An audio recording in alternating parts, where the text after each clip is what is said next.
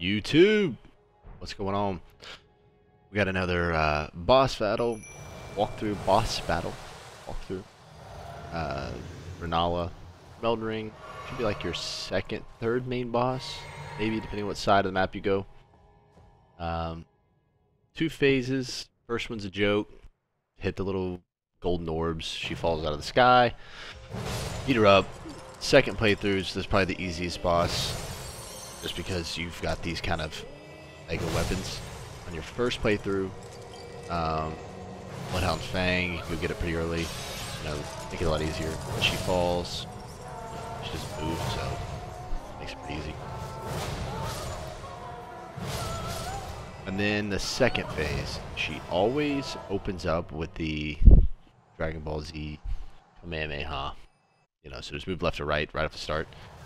Comes out kind of quick, especially if you haven't seen this before. By now, probably everyone has. And then she's really slow, and once you get up close to her, she just starts to like summon things. And unfortunately, it's RNG what you get. Um, I think I get the troll and the Bloodhound Knight. Not great, but you know, luckily you really just want to stick next to her.